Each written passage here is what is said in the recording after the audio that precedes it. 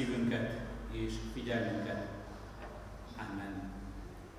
Hallgassátok meg testvéreim Isten igéjét, amelyet hirdetni kívánok közöttetek az ő szent lelke segítségű hívásával, úgy, ahogyan az írva található Máté evangéliumának 13. részében, a 24. verstől a 30. versig terjedő ige szakaszban. Más példázatot is mondott nekik Jézus. Hasonló a mennyek országa ahhoz az emberhez, aki jó magot vetett a szántóföldjébe. De amíg az emberek aludtak, eljött az ellensége, konkolyt vetett a búza közé és elment.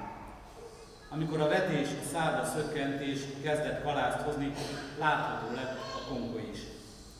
A szolgák ekkor oda mentek a gazdához, és ezt mondták neki. Uram, te jó magot vetettél a földbe. Honnan került hát bele a konkoly? Ő pedig így felelt. Valamelyik ellenségem tette ezt. A szolgák erre megkérdezték. Akarod-e, hogy elmenjünk és összeszedjük a konkolyt? Ő azonban így válaszolt. Nem, mert amíg a konkolyt szednétek, kiszaggatnátok vele együtt a búzát is. Hadd nőjön együtt mind a kettő az aratásig, és majd az aratás idején szólok az aratóknak. Szedjétek össze először a konkolyt, kössétek kévébe és égessétek el, a búzát pedig gyűjtsétek be csűrömbe. Eddig Isten írott igéje. Helyet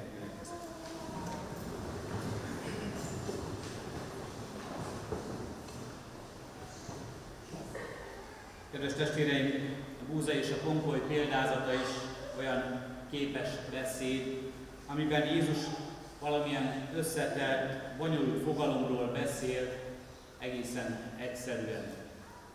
Úgy akar tanítani nekünk talán megtaníthatatlan, nehéz és érthetetlen dolgot, hogy abból mi mégis megértsünk valamit, hogy az számunkra mégis üzenetté legyen. A végeredmény, hogy bár maradhatnak kétségek és kérdések is az életünkben, de a lényeg megértése általában nem marad kérdéses. Így van ez a mostani példázatban is. Különösen, ha tovább olvasnánk a 13. részét Máté evangéliumában is, mert ezzel, ezzel a példázattal úgy találkozunk viszont, hogy Krisztus meg is magyarázza ennek értelmét. Mi lehetne más dolgunk egy olyan Krisztusi példázattal, amit Jézus maga magyaráz meg, mint hogy egyszerűen elfogadjuk azt, elhisszük és engedelmeskedünk neki. Az első ránézésre talán nem is kell mást tennünk, mint befogadni ezt az üzenetet. A helyzet azonban mégis egyszerre nagyon egyszerű és egyértelmű, és bonyolult, és kicsit még ellentmondásos is. Nézzük meg és vizsgáljuk meg a példázat néhány ellenmondását. A szöveg környezet szerint a magvető, a, mustár, a, mustár, a magvető példázata, a mustármag és a kovász példázata közé van beékelve a magvetés és a búza és a konkoly példázata. És majd ezt követi az elrejtett kincs, az igaz gyöngy és a háló példázata. Azok a beszédek, amelyekben Jézus mind-mindben az Isten országáról szól. És így is kezdődnek ezek hasonló a mennyek országa. Ebben a példázatban azt látjuk, egy gazda vet, és az ellensége is vet éjjel. Konkoly kerül a búza közé, ami végzetes is lehet, hiszen ez a növény mérgező. Ha együtt aratják a búzával, akkor betegséget vagy akár még halált is okozhat. A szolgák ki akarják gyomlálni a konkolyt, de a gazda nem engedi neki. Elmondja ugyanakkor, hogy a maga idejében az aratáskor szétválasztja majd a búzát konkolytól. Egyértelmű a kijelentés, és egyértelműsíti Jézus még jobban ezt az ő magyarázatában. Az, aki a jó magot veti, az emberfia. A szántóföld a világ. A jó mag a mennyek országának fiai, a konkoly a gonosz fiai. az ellenség, aki elvetette a konkolyt, az ördög, az aratás a világvége, az aratók pedig az angyalok. Ahogyan tehát a konkolyt összegyűjtik és megégetik, úgy lesz a világ végén. Az emberfia elküldi majd angyalait és összegyűjtetnek országába minden botránkozást okozó, gonosztevőt és tüzes kemencébe vetik őket. Egyértelmű az üzenet és a tanítás. Jézus példázatát nem is lehetne jobban lefordítani és összefoglalni, mint ahogy ő maga teszi. Mégis a hallgatói számára volt ebben valami furcsa, valami ellentmondásos, melynek a lényege talán úgy fogalmazható meg, ellentmondás van a megszokott, általánosan elfogadott emberi logika, a gazda logikája között és cselekvése között, és a között, ahogyan Jézus mutatja be ezt a gazdát. Talán sokaknak, akik hallgatták, az is megfordult a fejébe, hogy megbolondult ez a gazda. Nem törődöm ez a gazda. Nem érti a munkáját. Nem tudja, hogy mi a dolga. Sohasem látott még szántóföldet, húzát és konkolyt együtt nőni. És talán tőlünk már távol van ez a földműves életmód. De mi magunk is talán így gondolnánk arra a gazdára, ha elmennénk az út mellett, és azt látnánk, hogy ott nő szépen együtt a húza, és legalább annyi pipacs, virágzó, gyönyörű, piros növény is van a húza között, mint amennyi hasznos gabona.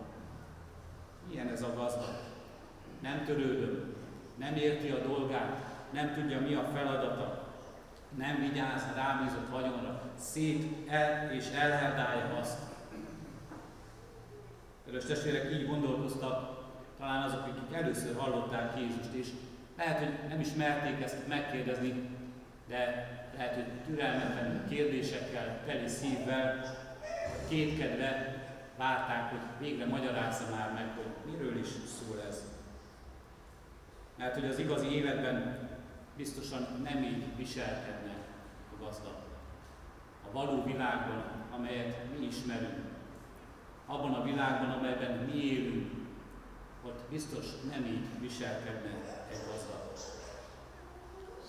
Először is talán ezek az ellentmondások lehet, hogy éppen azt a célt szolgálják, azért vannak ezek az ellentmondák, ellentmondó kijelentések, mert a tanítónak, mert Jézusnak éppen ez a szándéka. Éppen ezt akarja nekünk megtan- megtanítani.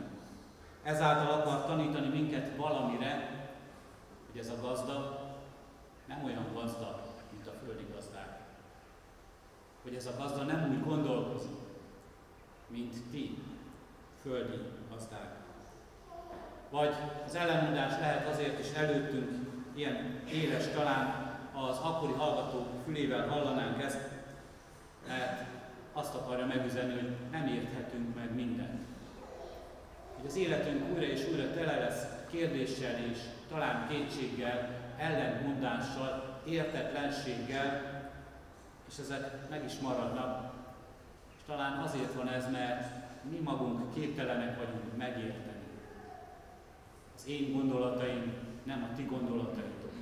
Újra és újra figyelmeztet Isten minket, és lehet, hogy Jézus is éppen ebben a példázatban erre is akar figyelmeztetni.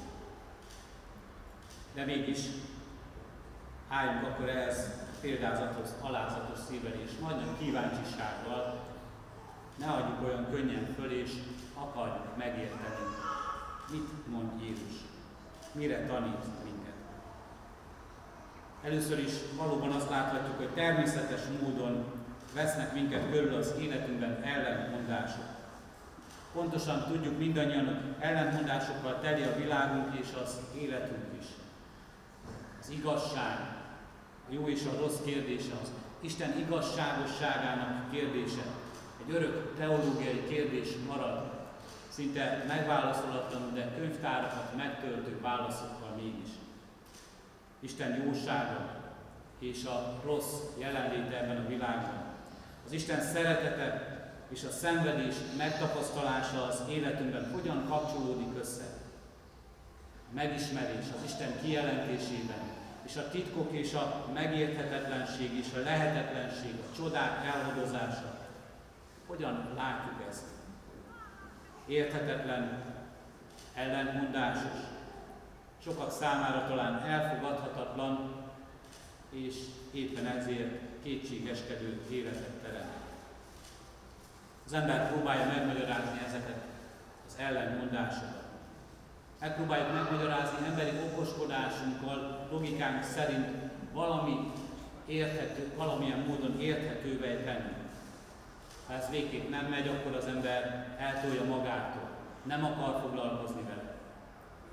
Könnyebb utat választja és tudomást sem vesz róla, vagy megpróbálja letagadni. Ne várjuk azt, hogy nem lesznek ellentmondások, azt is tanítja most nekünk Jézus. Akár bennünk, akár körülöttünk, vagy a világban, de még arra sarkaljon ez minket, hogy sokkal inkább keressük az igazságot. Jézus tanítását, ami segít eligazodni és talán valamennyire megértetni velünk az Isten munkáját, az Isten országának törvényeit. Ennek a példázatnak a fő témája és üzenete földművelés általánosan ismert képébe csomagolva az ítélet és annak a kérdése, honnan van a rossz, miért nem szolgálta Isten már most igazságot, illetve hogyan lehet megkülönböztetni az igazat a hamistól, a jót a rossztól. És a kérdés, mi a szerepünk az ítéletben, hogyan kell nekünk ítélni ennek a világnak dolgait. Először is azt látjuk ebben a példázatban, és a példázaton keresztül a tanítóról, a mesterről, Jézusról, hogy nagyon realista, nagyon is jól látja a világunkat. Azt mondja, hogy ebben a világban, amelyben élünk, amelyben éltek, van gyom. Van benne konkoly. Jézus teljesen realista az által elmondott példázattal, és így is tanítja az ő hallgatóit. Legyetek józanok. Van ellenség, van gonosz, van rossz ebben a világban. Az igazság, hogy Isten hatalmas és uralkodik, ez egy igazság, de a megtapasztalása az életünknek az is, hogy a gonosznak is van munkája. Még akkor is van, és akkor is látjuk ezt, a, tudjuk a végét, de nem látjuk. Ha tudjuk a végét, hogy majd egykor megítélik és elválasztják egymástól a jót és a rosszat. Ha tudjuk is ezt, akkor is látnunk kell, hogy jelen van, megtapasztaljuk. Ne akarjuk eltagadni, ne akarjuk nem tudomást venni róla, vagy végképp ne akarjuk jóvá magyarázni a rosszat. Azt is mondja Krisztus ebben a példázatban, hogy ez egy szándékos rossz akarás. Nem véletlen. Nem csak úgy megtörténik az ember akarata ellenére, amikor mi teszünk rosszat. Nem csak úgy valamilyen véletlen folytán alakul így, hanem ez egy szándékos károkozás, egy szándékos pusztítás. Szentírás így is nevezi, Jézus itt ördögnek mondja, hogy szétdobáló, aki pusztít, akinek az a célja, hogy az Isten erejét és hatalmát lerontsa, az Isten munkáját tönkre tegye ebben a világban. Hányszor találkozunk ezzel? Hányszor találkozunk a világunkban? És találkozunk-e önmagunkban ezzel? Ezzel, amikor szándékosan, nem véletlenül kárt okozunk, amikor szándékosan pusztítunk, pusztítjuk magunkat, világunkat, egymást, amikor az Isten erejét rontjuk le, amikor azt, amivel Isten építene minket, magunkat, vagy rajtunk keresztül ezt a világot, azt mi éppen, hogy lebontjuk. Hányszor találkozunk ezzel ebben a világban, és jajgatunk és sopánkodunk, és kiáltunk az Istenhez, hogy miért, Uram, de találkozunk ezzel önmagunkban, a saját életünkben, amikor magunk ellene kellene szót emelni az Isten elé. Meddig, Uram, meddig vagyok még ilyen. Állapostól nagy nyomorúságának kiáltása is ez, amikor önmagában ismeri föl. A magvető példázatában, amelyet megidéztünk már a keresztelő alkalmával, szintén egy urat látunk, Krisztust, aki hinti a magot, ott az ige magjáról van szó, az Isten igazságának, az Isten evangéliumának, öröm hírének magjáról, amelyből hit támadhat az ember életében, és amely hit gyümölcsöt teremhet. Itt ebben a Búza és Konkoly történetében nem az ige magjáról van szó, hanem a Búza az igazság fiait, az Isten fiait jelenti. A Konkoly pedig a hamisság fiait, a nagy szétdobáló, az ördög gyermekei. De mégis kicsit tovább gondolva a magvető példázatát, amit a keresztelésben, amelyben a keresztelésben hallottunk. Azt mondjuk, és azt látjuk ott, hogy Isten vet, hogy Krisztus vet.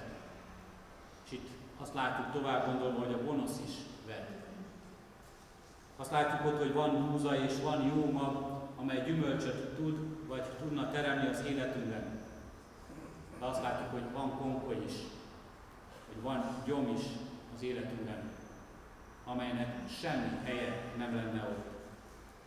És azt látjuk, hogy ez a kongoly, ez a rossz, ez mérgező dolog. Ez gyilkos dolog.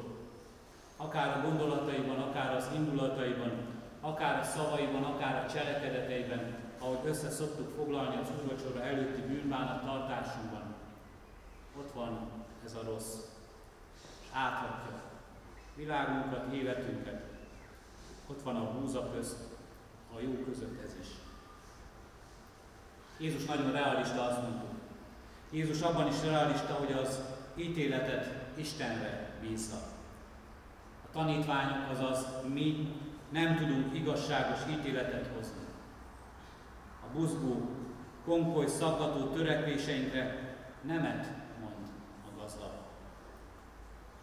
Az idő ura, Isten. És Jézus itt most ebben a példázatban türelemre int minket. Pánik helyett türelem. Ő tudja. Ő, egyedül ő tudja, minek, mikor kell meglennie. Türelemre int és indít. Az igazság nyilvánvaló válása az ítélet által történik meg, amit azonban nem lehet sietni. Feltűnő az evangéliumok Krisztus tanításaiban, hogy mennyire fontosnak érzi Jézus azt, hogy erről sokat és sokszor beszéljen. Hogy az ember várjon, hogy az ember nem ülhet be az Isten bírói székébe. Hogy azt a napot és azt az órát, amikor valóban szétválasztatik egymástól húza és konkol, jó és rossz, azt senki más nem tudja és tudhatja, egyedül csak az Atya. Mert a mi ítéletünkkel, ami pánikszerű gyomlálásunkkal, ami önmagunkat igazoló, a másik rosszaságában magunkat megdicsőítő ítéletében, az a nagy baj, hogy ez árt és szebe és sebez. Néha a jó is elvész, mondjuk mi beletörődve. Néha kiúlik a zsákból az értékes mag is, ezt mi tudomásul veszünk. Biztos itt is sokan ismerik azt a kifejezést a mezőgazdaságból, ha Jézus ezt a képet hozta, akkor maradjunk is ennél, hogy idegenelés. A kukorica művelésénél, amikor még nem túl nagy a kukorica, akkor kiküldik általában diákokat, gyermekeket a földre, és azt, ami nem úgy néz ki, ahogyan ki kellene nézni, könnyen felismerhető módon idegen magról kelt és idegen szár, ezt ki kell vágni.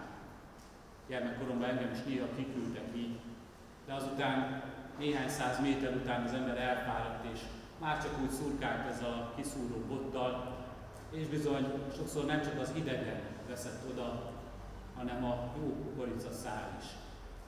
Benne is volt biztos a statisztikában az, hogy lesz valami, aminek nem kellett volna elhullania és nem kellett volna elszáradnia, de mégis majd a nagy többség az majd megmarad, és majd abból rendes termés hoz, termést hoz.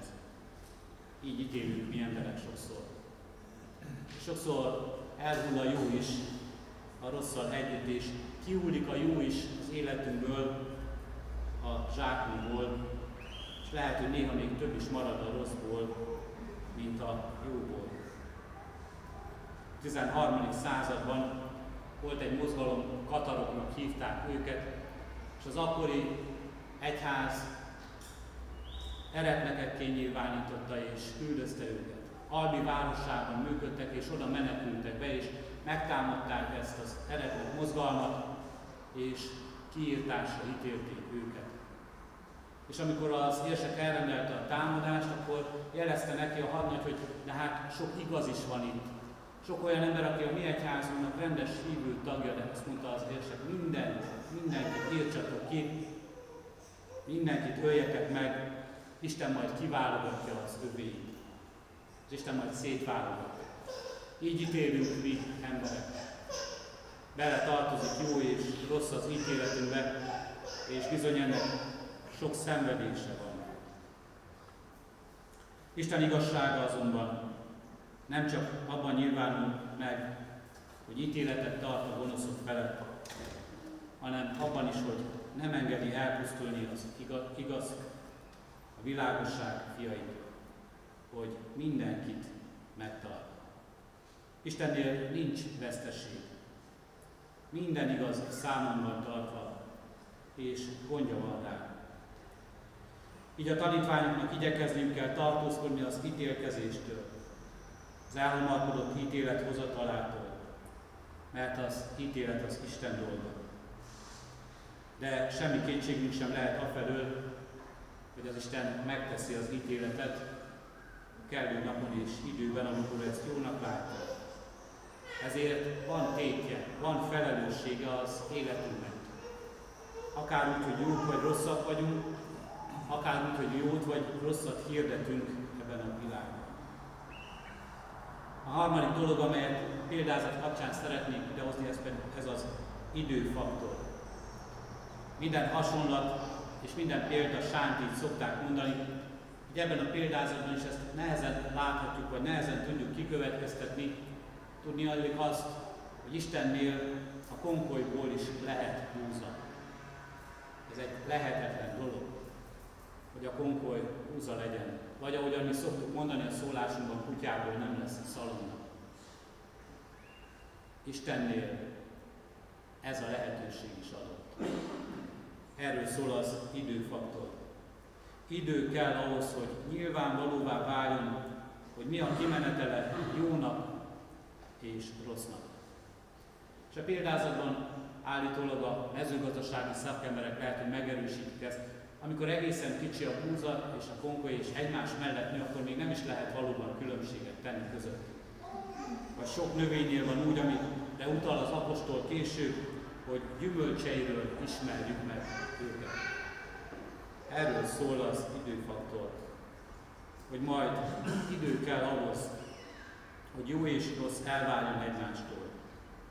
És akkor könnyen megítélhető lesz, amikor látjuk a gyümölcsét, hogy valami jó vagy rossz.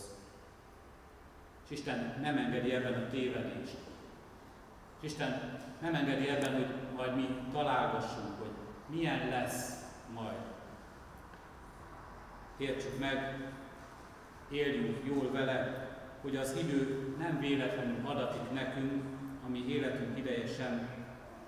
És ez az ítélet, ez nem halogatás, nem valamilyen hiba az Isten ígéreteiben, nem valamilyen hiba miatt késik, hanem ez várakozás, hogy a gyümölcse megmutatkozzon az életünknek és a világunknak.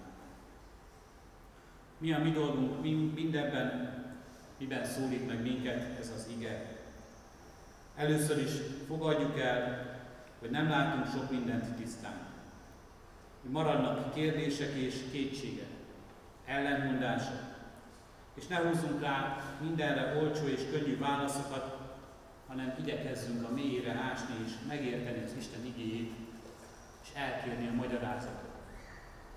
Ezt a magyarázatot ebben a példázatban Jézus a Szentírásban is megadja. De sok más le írt magyarázat mellett Isten az ő lelkével mégis magyarázni és tanítani akarja nekünk kijelentését. Erre szolgál az egész kijelentés. Keressük. Kérjük el Istentől ezt a magyarázatot. A másik fontos dolog, amelyre hint minket ez a példázat, hogy legyünk türelmesek. Legyünk türelmesek azért, mert Isten türelmes. Tanulhatunk tőle türelmet a világ felé, nem keresztény világ felé, környezetünk felé, a világ történései kapcsán, az életünk történései kapcsán, a gyülekezetünk kapcsán, a gyülekezetünkben, az emberi kapcsolatainkban. Legyünk türelmesek.